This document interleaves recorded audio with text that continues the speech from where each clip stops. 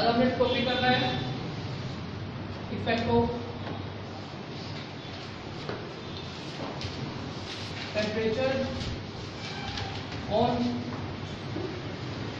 resistance and resistivity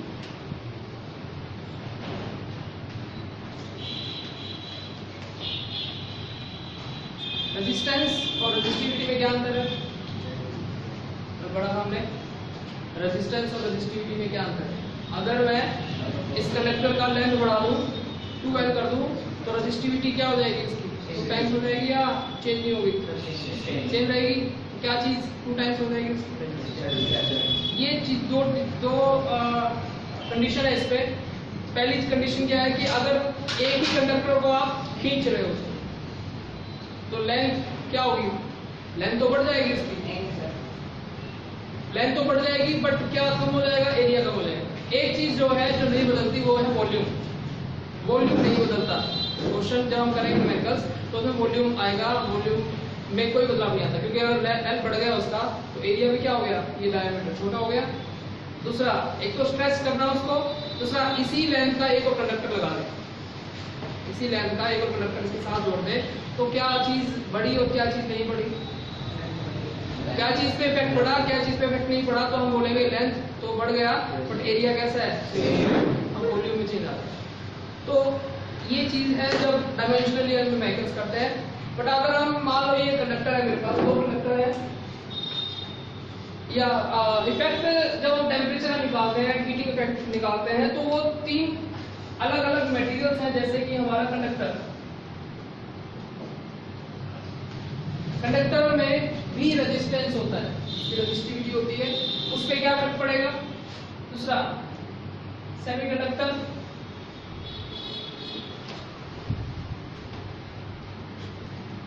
तीसरा electrolytes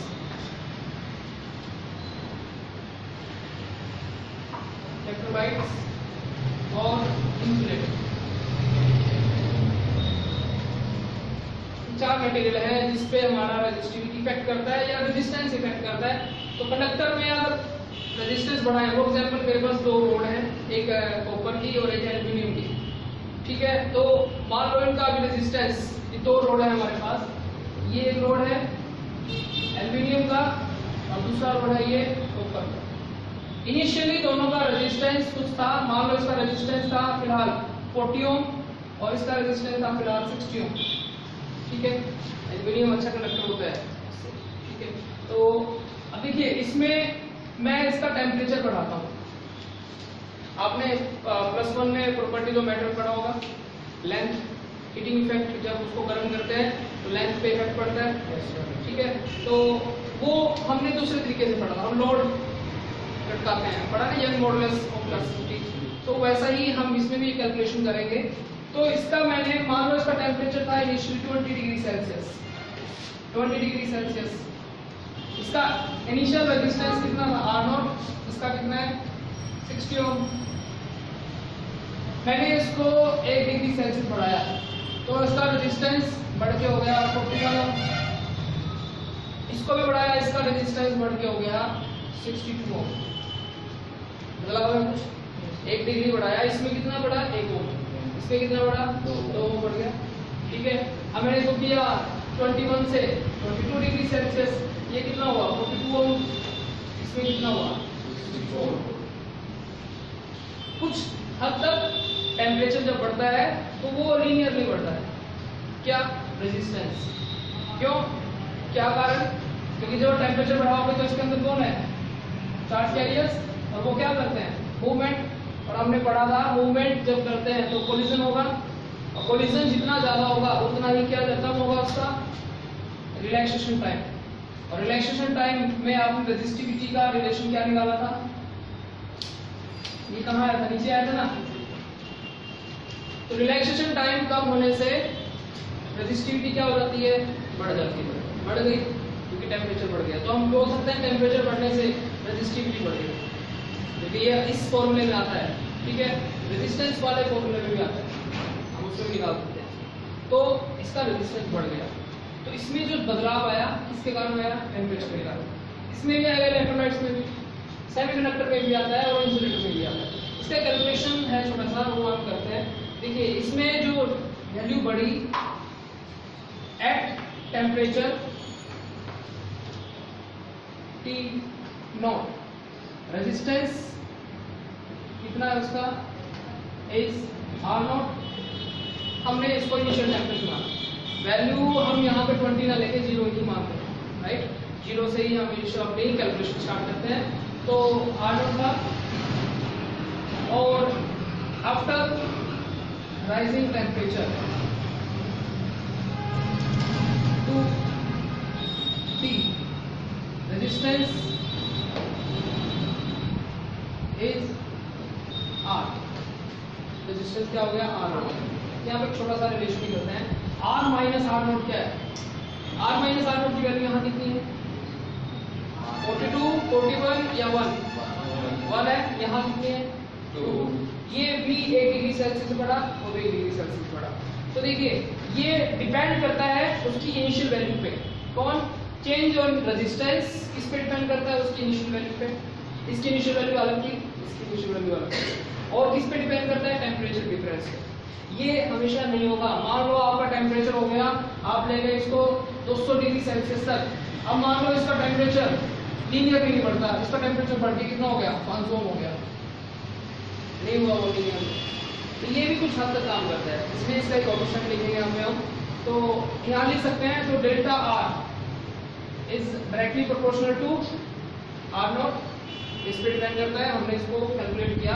Delta R is directly proportional to temperature difference delta T दोनों को जब हमने लिखा तो delta R directly proportional to R naught delta T और जब इसको हम खोलेंगे अब ये आएगा अल्फ़ा ये है डायरेक्टली प्रोपोर्शनल ये है alpha R naught delta T where alpha is temperature coefficient of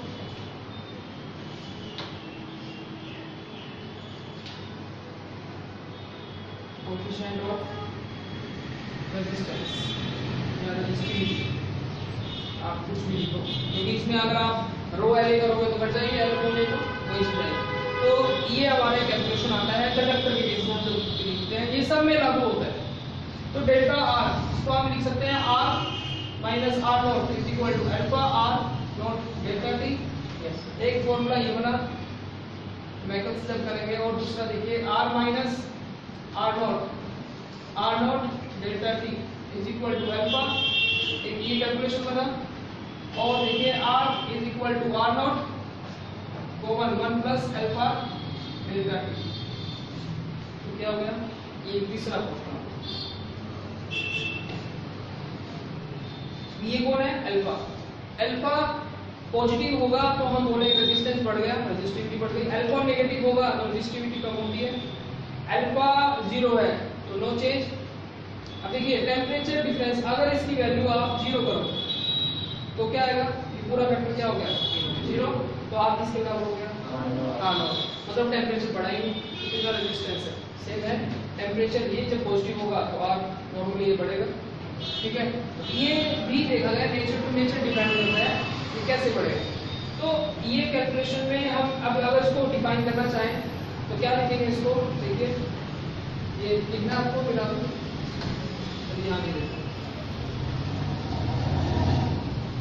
temperature coefficient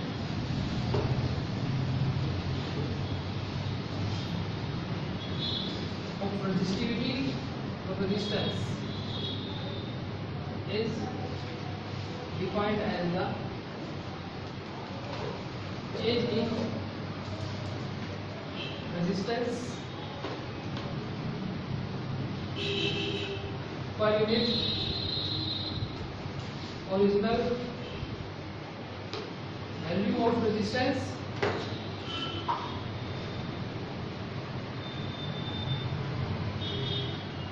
per unit rise in temperature क्योंकि अल्फ़ा किसके बराबर है delta R by R naught delta T ohm इनके यूनिट क्या बनेगा अल्फ़ा का पर केल्विन क्योंकि ये ओम रेजिस्टेंस ये ओम। दोनों यूनिट कट जाएँगे तो यूनिट क्या बनी इसकी? Unit of alpha alpha is per kelvin और पर डिग्री सेल्सियस ये दोनों यूनिट हम लिख सकते हैं। अगर आपको ये पीछे इसी वैल्यू के मैग्नीट्यूड के पीछे ये दिया जाए तो आप समझ सकते हो किसकी वैल्यू दी गई है? अल्फ़ा अल्फ़ा क्या है? वेरिएबल कंडक्टर के केस में अल्फ़ा पॉजिटिव होता है यहाँ लिखेंगे अभी हम। तो ये एक डेरिवेशन है ये ज़रूर समझना क्योंकि इसमें मेथड्स आते हैं बोर्ड में। ठीक है? तो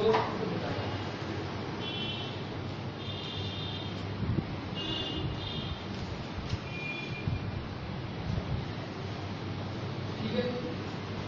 आगे चले हम इसको मैं रख कर दूँ? इस फॉर्मूले को मैं ऊपर लिख देता हूँ यहाँ पे। इसका भी लिख पड़ेगा हमें R naught one plus alpha delta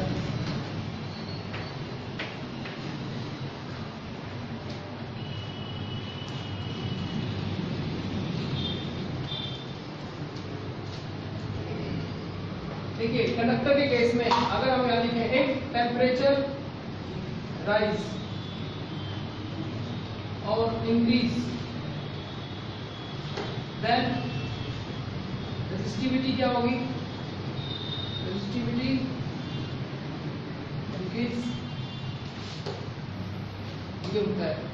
क्योंकि जैसे ही मूवमेंट बढ़ेगा तो क्या होगा? टेम्परेचर इफ़ेक्ट पड़ेगा तो क्या होगा? हीट इफ़ेक्ट होगा कोलिजन होंगे तो रेजिस्टेंस पे क्या होता है? इफ़ेक्ट होता है। रेजिस्टिविटी क्या होगा? इंक्रीज देन कनेक्टिविटी क्या हो जाएगी इसकी? कनेक्टिविटी डिक्रीज हो गई। क्योंकि हमें पता है sigma is equal to one by rho तो इस केस में लिखते हैं अल्फ़ा इज़ पॉजिटिव अल्फ़ा मतलब कोफिशिएंट टेम्परेचर कोफिशिएंट और कांस्टेंट में ये अंतर होता है। कोफिशिएंट होता है बार बार वैल्यू उसकी बदलती है। कांस्टेंट मतलब हर टेम्परेचर डिफरेंस पे वैल्यू सेम रहेगी। बट ऐसा नहीं है। कोफिशिएंट इसलिए लिखा गया वहाँ पे अल्फ़ा के लिए। फिर दूसरा आता है सेमी सेमीकंडक्टर सेमीकंडक्टर में क्या होता है? If temperature rise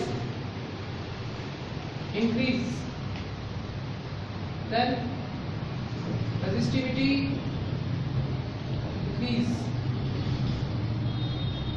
semiconductor जब पढ़ोगे आप, आपको समझ में आएगा रेजिस्टिविटी डिक्रीज होती है। मतलब कंडक्टिविटी बढ़ती है उसकी। कंडक्टिविटी क्या होगी इसकी? इंक्रीज अल्फ़ा इस केस में क्या होगा? अल्फ़ा इज़ नेगेटिव इसका मतलब समझो क्वेश्चन जब आता है तो नेगेटिव पॉजिटिव का मतलब है रेजिस्टिविटी कम हो गई नेगेटिव आएगा राइट तो अब देखिए इसमें, इसके बाद आता है electrolytes electrolytes if temperature increase, then resistivity decrease. इस केस में भी रेजिस्टिविटी डिक्रीज होती है? अल्फ़ा क्या है यहाँ पे? अल्फ़ा इज़ अगेन नेगेटिव हमें डेरिवेशन किया अल्फ़ा हमें पता है क्या चीज़ है। उसके इलेक्ट्रोलाइट में सबको बताऊँगा वन बाय वन क्या मतलब है इंसुलेटर इंसुलेटर में अगर टेम्परेचर बढ़ाओगे आप। Temperature increase resistivity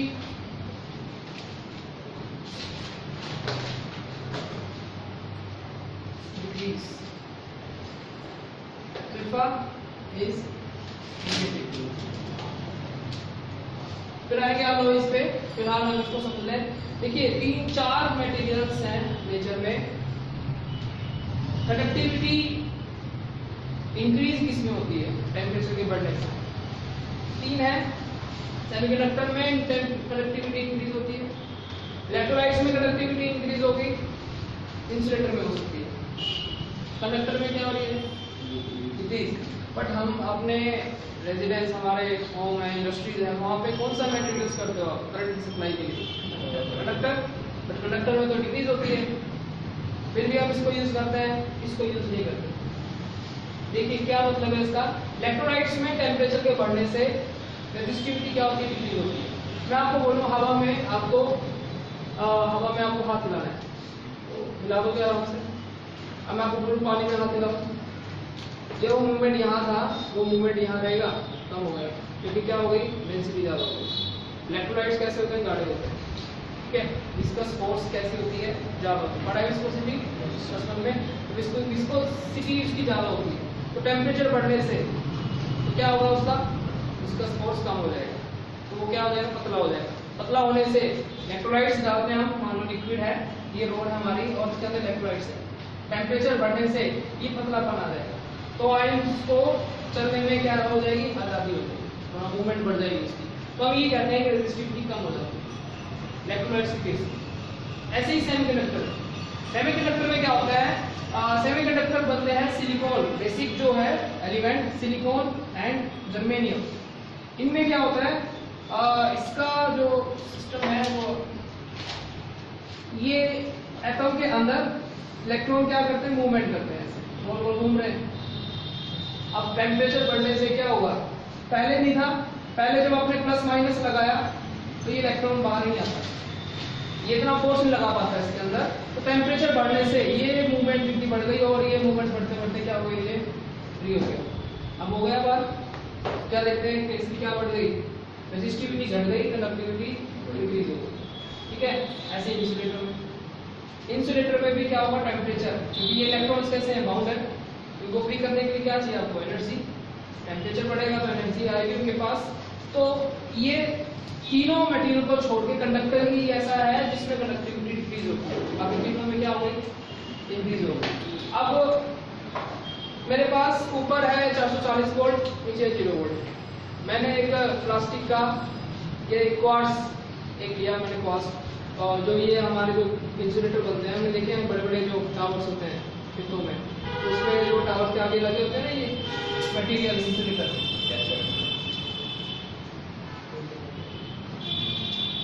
ये अलग अलग सिरेमिक के बनते हैं? क्वार्ट्स के बनते हैं ग्लास के बनते हैं तो अलग अलग मटेरियल के बनते हैं। इनका अपना अपना क्या है डायरेक्टिक स्ट्रेंथ होता है। तो अब ऊपर है, मान लो इकतीस सौ वोल्ट नीचे ज़ीरो वोल्ट अब मैंने इसका एक रोड बनाया और वहाँ लगा दिया। अब यहाँ खड़े हो, आप टच कर रहे हो। तो आप क्या चाहोगे? इसका कंडक्टिविटी अच्छा होना चाहिए तो इसका रजिस्टिविटी अच्छा होना चाहिए? रजिस्टिविटी तो ये अब हमें क्या अच्छा चाहिए? रजिस्टिविटी अच्छी चाहिए। तो वो इंसुलेटर की होती है। तो यहाँ पे हम क्या चाहेंगे इसका अल्फ़ा निगेटिव रहे बढ़े ना टेम्परेचर बढ़ने से रजिस्टिविटी डिक्रीज होती है। ठीक है? तो हम उसको यूज़ करते हैं। अब हमें कहीं पे हमारा एक डिवाइस चलाना है। तो हम क्या करेंगे? जो मटेरियल को हमने मान लो बल्ब जाना है और हमने इसको वायर्स को ऐसे जोड़ दिया और ये वायर का क्या है? रेजिस्टेंस अभी ऐसी चले तो क्या करेंगे? इसमें से करंट अच्छा तो बढ़ तो वोल्टेज तो उतनी है। I is equal to V by R I अच्छा चाहिए तो आर कैसा होना चाहिए? कम होना चाहिए। तो हम क्या चाहेंगे? अच्छा हो। बट यहाँ तो कंडक्टर में क्या हो जाता है? डिक्रीज फिर भी हम उसको यूज़ करते हैं। तो कारण है कुछ। तो ये चार पाँच सॉरी चार मटेरियल्स हैं अलग अलग नेचर के, सब में इनको छोड़ के उसको यूज़ किया इसका कारण है, इसका कारण ये है, सबसे जो मोस्टली यूज़ होता है हमारे घर में, वो यूज़ होता है मटेरियल कौन सा? कॉपर कॉपर यूज़ करने का कारण है, पहली चीज़, वो डायमैग्नेटिक मटेरियल होता है, उसमें मैग्नेटिज्म नहीं होता। और आपने मैग्नेटिक आता है तीन पैरामैग्नेटिक फेरोमैग्नेटिक और डायमैग्नेटिक डायमैग्नेटिक में अगर आप उसको मैग्नेटिक फ़ील्ड में रख दो तो मैग्नेटाइज नहीं होगा। वो डायमैग्नेटिक होता है। मतलब उसमें डीमैग्नेटाइजेशन होता है। ठीक है? तो इसको इसलिए यूज़ किया जाता है। दूसरा, इसमें इसका टेम्परेचर बढ़ने से रेजिस्टिविटी ज़रूर बढ़ती है। बट हमने पढ़ा है I is equal to n e A अब इसमें अगर ध्यान दो तो ये जो है नंबर ऑफ़ चार्ज कैरियर्स इसमें ज़्यादा नहीं होते, इसमें भी ज़्यादा नहीं होते, इसमें भी ज़्यादा नहीं होते। किसमें होते हैं? कंडक्टर करते हैं। तीन नंबर ऑफ़ चार्ज कैरियर्स अब आपका जो मोबाइल आप चार्ज करते हो तो बैटरी कैसी हो जाती है? गर्म हो जाती है? अब आप जब गर्म हो गया तो आप क्या उसको उतार देते हो? चार्जिंग में से इग्नोर करना पड़ता है इग्नोर करो उसको हीटिंग को। तो होगा तो फ्रिक्शन है। उसको हम मना नहीं कर सकते कोलिजन होगा ही होगा। बट उसको इग्नोर करके थोड़ी और ज़्यादा एनर्जी दे दो। मान लो सौ एनर्जी में उसकी नब्बे जूल हीट में कन्वर्ट हो गई, दस जूल ही चार्ज हो पाया। तो आप क्या करोगे? थोड़ी एनर्जी और दे दो उसको। उसको एनर्जी दे दो। दो सौ वो नब्बे कर रहा है तो बची एक सौ दस चार्ज हो गया वो। तो हम इसमें इसलिए यूज़ करते हैं कंडक्टर को। एक तो इसके चार्ज कैरियर्स बहुत ज़्यादा होते हैं। दूसरा ये डायमैग्नेटिक मटेरियल होता है, ठीक है? ये दो कारण है जो हम इसको यूज़ करते हैं। और ये यूज़ हम करते हैं बट हमारी कंडीशन हमें अगर ज़्यादा चार्ज करनी चाहिए तो ये यूज़ होगा कंडक्टर इसके कारण। और टेम्परेचर और रेजिस्टेंस का और करंट का आपस में रिलेशन देखिए क्या है। आपने बोला कि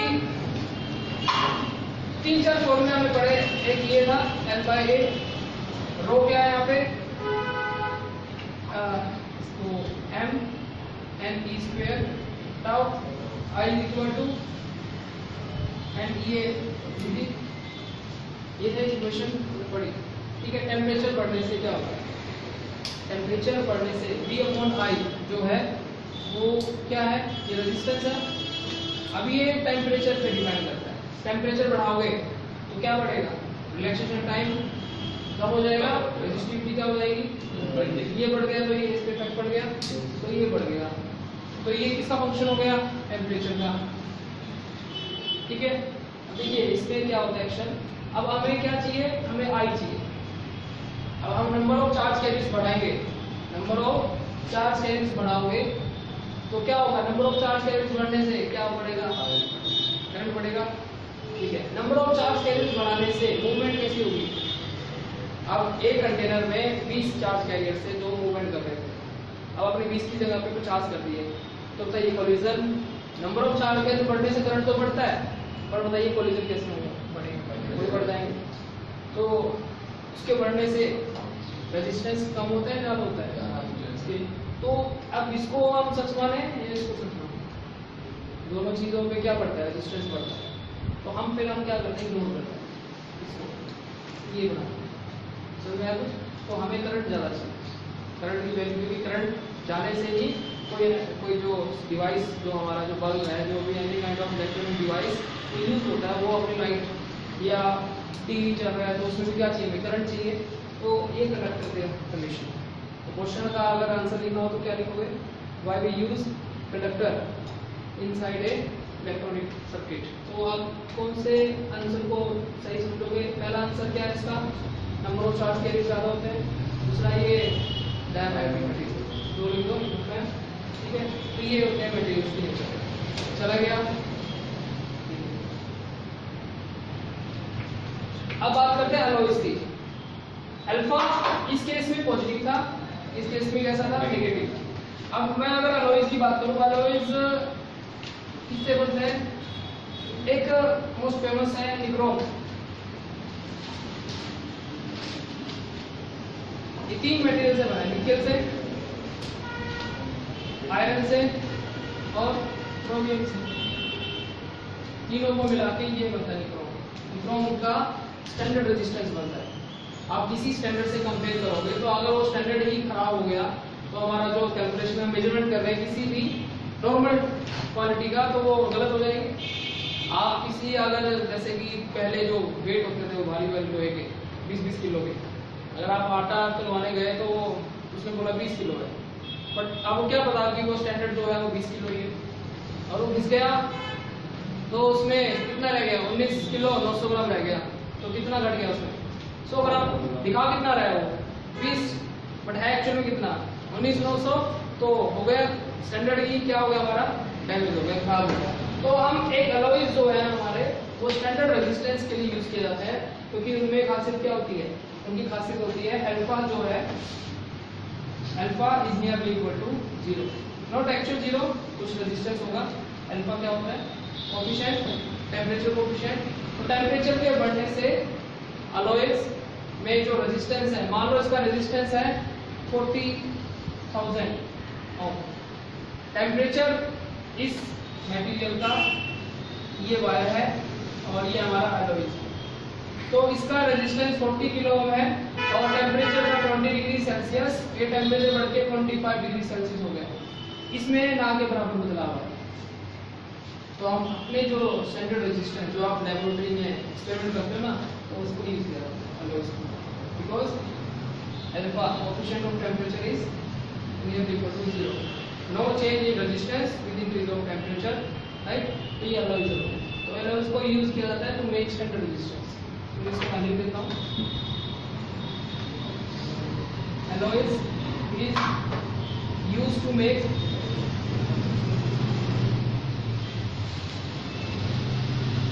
measure the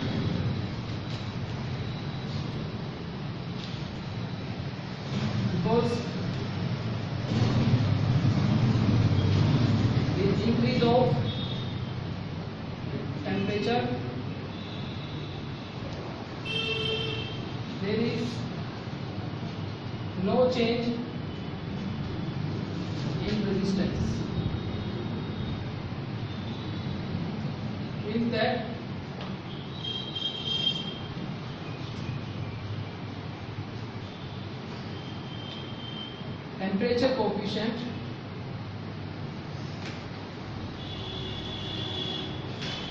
Is alpha is nearly equal to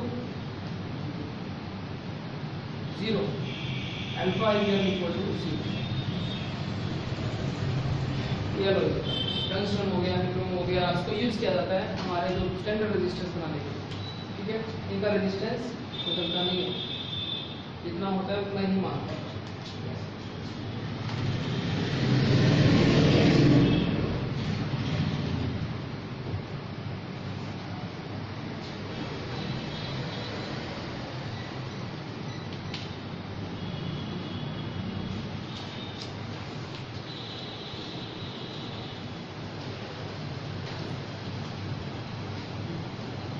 देखिए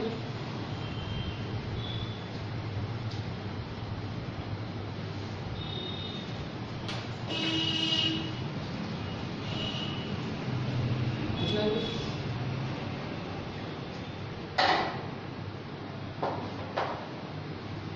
अब हमने बात करनी है रजिस्टर्स दो तरह के रजिस्टर होते हैं, एक होता है मेटेलिक रजिस्टर और एक होता है कार्बन रजिस्टर रजिस्टर होता है इसके अंदर? मेटेलिक का रजिस्टर होता है। उसको हमने रजिस्टर नाम दिया। देखिए वो कैसे वर्क करते हैं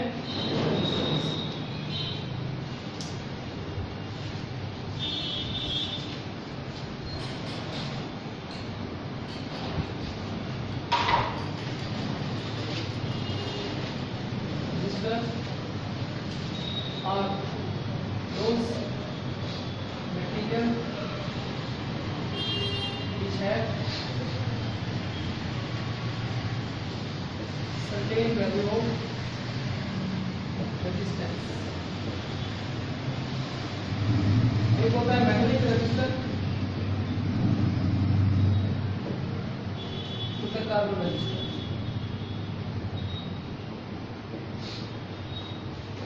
मैग्नेटिक और कार्बन में क्या अंतर है कोई अंतर नहीं है मतलब जो हमारी जो वायर है मान लो ये वायर है और इसका इसके अंदर जो मेटल का पीस कैप लगा दिया तो इसका एक अपना स्टैंडर्ड रजिस्टर होता है ठीक है आपकी जो घर में वायरिंग है वो ये लगा लो हर वायर में रेजिस्टेंस क्रिएट होता है हमारी मिट्टी भी एक रजिस्टर है मिट्टी में भी क्या एक रेजिस्टेंस है यहाँ पे अगर एक वायर गिर रही टूट के इलेक्ट्रिसिटी की और आप यहाँ पर आपको करंट नहीं लग रहा है इसका मतलब क्या है? तो मतलब वो उसको अलाउड नहीं करती चार्ज कैरी करना एनर्जी के साथ। तो कार्बन रजिस्टर कैसे होते हैं? कार्बन रजिस्टर की जो नेचर है, बीच में क्या है? मान लो कार्बन भर दिया हमने और ये मेटल की वायर निकाल दी, और यहाँ से निकाल दी।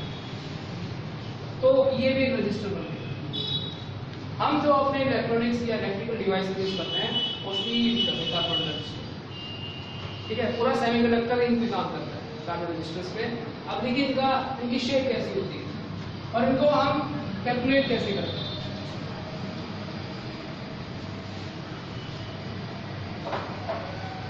नेक्स्ट टॉपिक हमारा colour code carbon resistor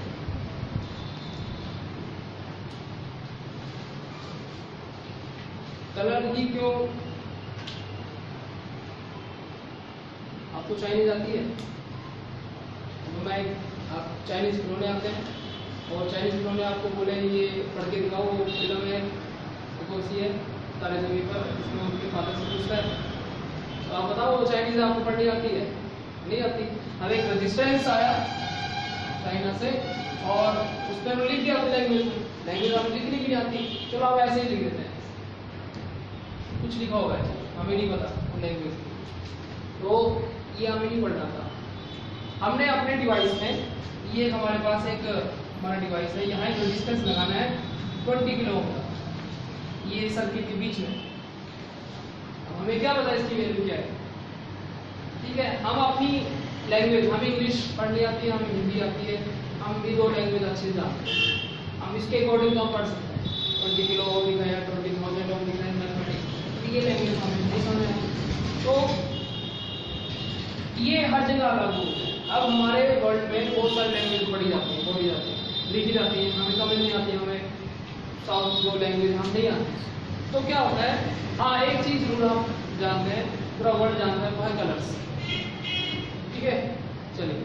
अब ये शर्ट है जो मेरी, ये इसका कलर क्या है? मैरून कलर अगर आप अमेरिका चले जाओ या इंग्लैंड चले जाओ, वहाँ भी इस कलर क्या हैं मैरून ही बोलेंगे। तो हमने फिर एक तरीका निकाला। पूरे वर्ल्ड में इसी चीज़ से चलता है। तो कलर जब हम बनाते हैं रजिस्टर जब हम तैयार करते हैं तो उसको एक तरह से कलर दे दिया। कलर की फॉर्म में इसको बनाया जाता है। मान लो ये हमारे पास एक रजिस्टर है। ये एक वायर है, इसकी हमने इसकी पिक्चर्स निकाली। करंट इसमें जब जाएगा इस रजिस्टर को पार करके जाना तो इसमें चार रिंग होती है। एक रिंग दो रिंग तीन रिंग ये रिंग है एक्स ये वाई और ये जेड और एक रिंग थोड़े डिस्टेंस पे होती है, उसको हमने नाम दिया पी अब ये चार रिंग है, और ये चार रिंग का अपना अपना नंबर होता है वैल्यू होती है। तो उसको हम एक कैटेगरी बनाई गई एक टेबल बनाया गया उसका। कैसे देखिए कलर कोडिंग में। इसको बनाने का तरीका क्या है? इसमें चार रिंग है फ़र्स्ट रिंग जो है significant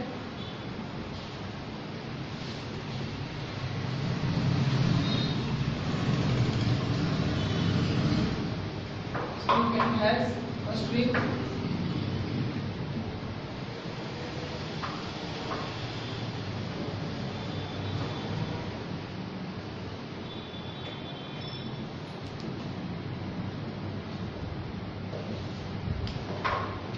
ठीक है ये नॉर्मल डिजिट पहली है सिग्निफिकेंट वैल्यू कोई वैल्यू होगी इसकी particular significant second ring has second significant value.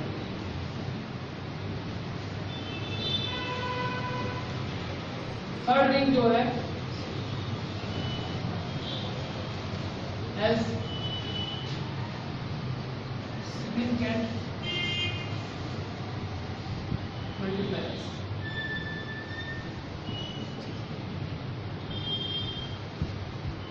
Multiplier मतलब जो वैल्यू है इसके साथ मल्टीप्लाई किया जाएगा टेंथ की पावर में और फोर्थ रिंग जो है गिव टॉलरेंस और प्योरिटी ये बताएगा वो कितना प्योर है ये आ, इसको कोई लिखना नहीं है ये बस जस्ट इसको समझने के लिए चार रिंग है देखिए इसको मैं बनाता हूँ सब ठीक है ये हमारा सेंटेंस है B for black brown red orange yellow और इसका फ़र्स्ट वर्ड लिया जाता है अल्फ़ाबेट जी मतलब ये ग्रीन ब्रिटेन बी हो गया वायलेट ग्रे डब्ल्यू ठीक है देखिए एक बार कैसे मैंने आपको एक वैल्यू दिया अब वो वैल्यू है। बहुत दो मार्क्स का आता है बहुत इजी है। देखिए, मान लो ये वैल्यू दिया आपको 60 किलो। और इनका नंबर मैं बताता हूँ आपको। इनका नंबर दिया जाता है zero two three four five six seven eight nine ठीक है? और मल्टीप्लायर्स जो पावर है इसकी जो हम को ten is power zero ten is power one two three four seven eight nine ठीक है? ये। उसके बाद इसकी दी जाती है टॉलरेंस टॉलरेंस मैं आपको बताऊँगा क्या होता है। Tolerance gold silver no colour plus minus five percent plus minus ten percent plus minus twenty percent ये क्या चीज़ है? देखिए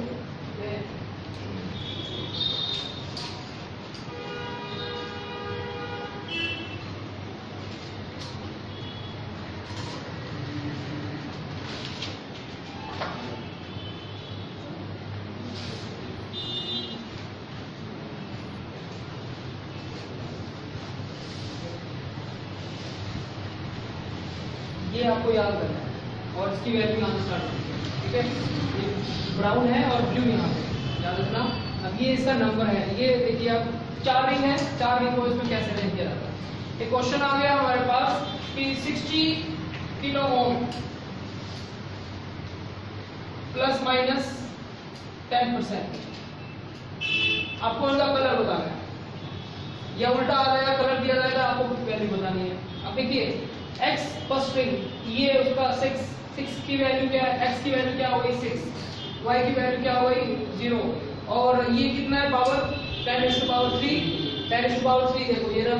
टेन टू पावर थ्री और वाई पी जो है आप देखो टेन परसेंट टेन परसेंट ये दिया है वैल्यू किसकी? पी की. चार्जिंग हो गई?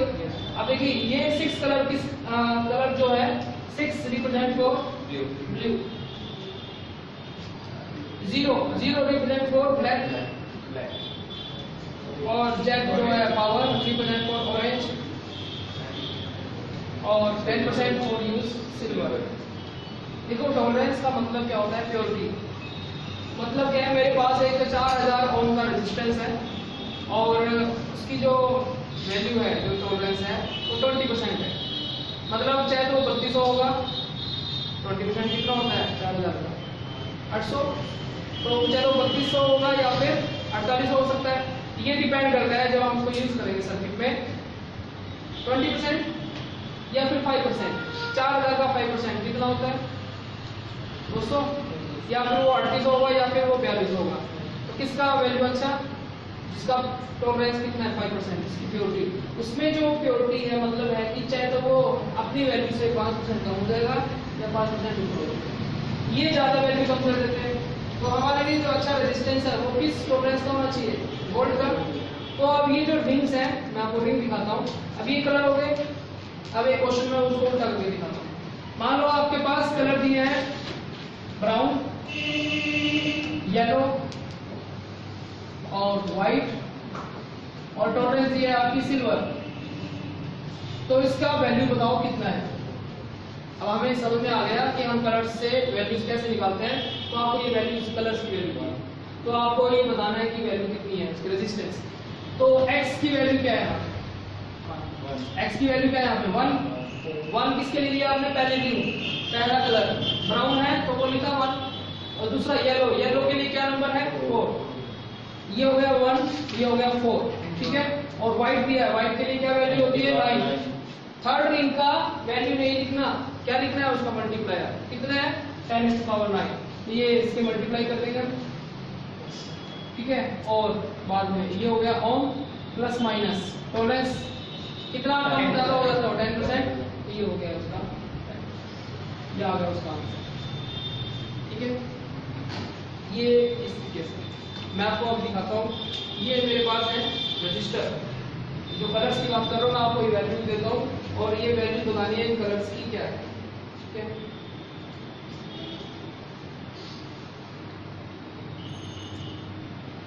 देखिए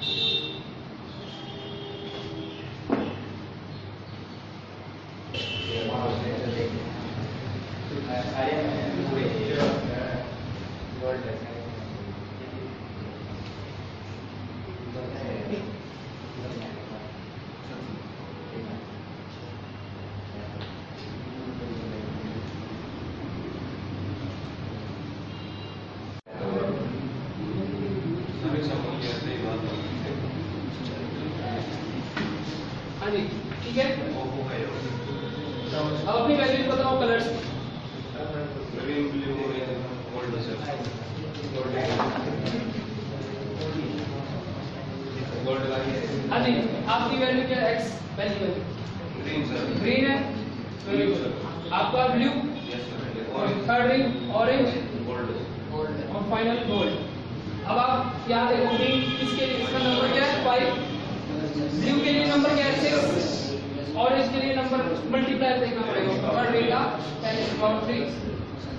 plus minus ten ना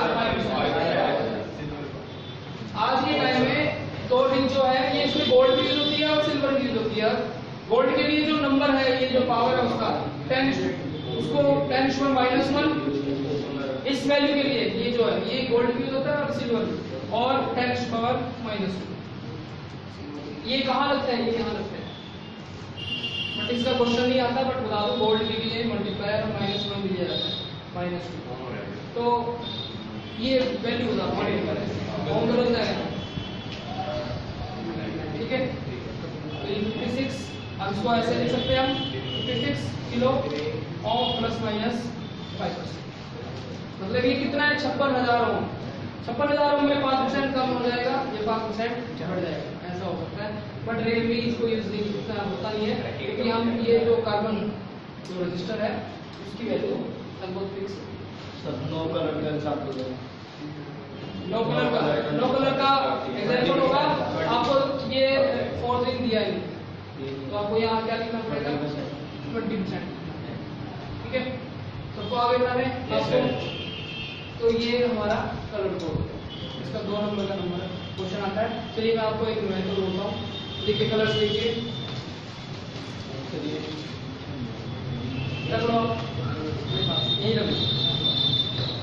एक क्वेश्चन देखिए find the value of the resistance